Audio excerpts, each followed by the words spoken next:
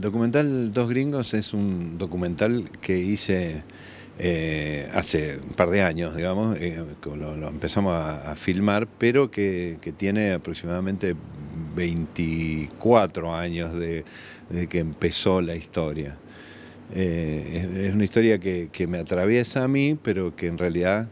cuenta la vida de Yes, que es una fábrica de autos que, que existió en Argentina desde el 82 al 90. Eh, esta fábrica em, era como una especie de sucesión de, lo que era Citroën en Argentina, pero después de vino en, un, emprendimiento independiente totalmente de, Citroën y, llegaron a, fabricar y diseñar autos eh, absolutamente originales. Yo tuve de casualidad un auto de esos, compré un auto de esos, que se llamaba Gringo, y eso fue lo que desencadenó la historia, porque en un momento me, contacto con, el gringo Salari, que era el hijo del dueño de la fábrica, y, que él estaba eh, buscando de alguna manera eh, volver a vincularse con su padre, porque, porque estaban distanciados. Entonces eh, a mí me interesó la historia, no la historia personal de ellos, sino la historia de la fábrica y con él empezamos a, recorrer un camino que nos llevó a, eso, a que yo pudiera reconstruir la historia de ese emprendimiento eh, y él volver a conectarse con, su padre.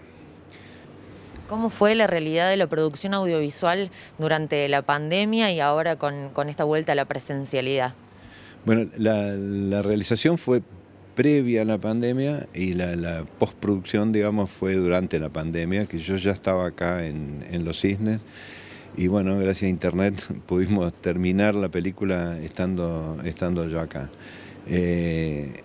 nos afectó un poco el tema de, la exhibición de la, película porque, bueno, en ese momento no, no había cines, la gente se desacostumbró de ir a los cines.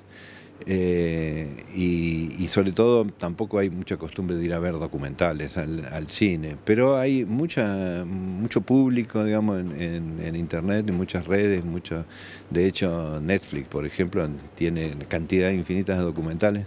Así que, mm, bueno, el lugar para, para, para, ver los documentales hoy es las redes y se está difundiendo todo el tiempo. De también cinear eh, la está programando porque la, película fue financiada por el Inca y, está en, la programación de Cinear, o sea que 2x3 la ponen en, el canal de, cine argentino. ¿Un mensaje para el público de por qué apoyar las producciones independientes? Bueno, mira, el, tema del, cine independiente sobre todo del cine documental, eh, al cual yo me he volcado este último tiempo, eh, para mí está ocupando el espacio que ocupaba en otra época lo que era el periodismo gráfico, las, grandes revistas ilustradas que han desaparecido y que, se dedicaban a eso, a contar historias visuales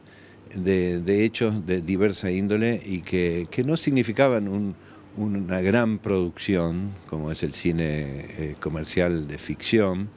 sino que por ahí eran, eran cosas desde el punto de vista económico y de realización más simple. Hoy hacer cine documental tiene su costo y es complejo, pero es infinitamente más simple y más económico, más barato que hace 20 años atrás, cuando el periodismo gráfico era una manera importante de difundir historias.